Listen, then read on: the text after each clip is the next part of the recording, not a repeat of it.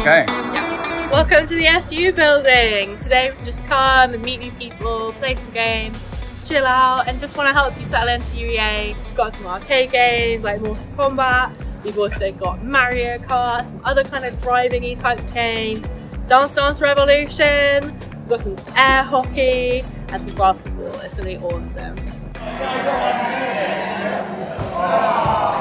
Can also meet some of your SU officers, such as myself. I'm the postgraduate officer, I'm called Elise.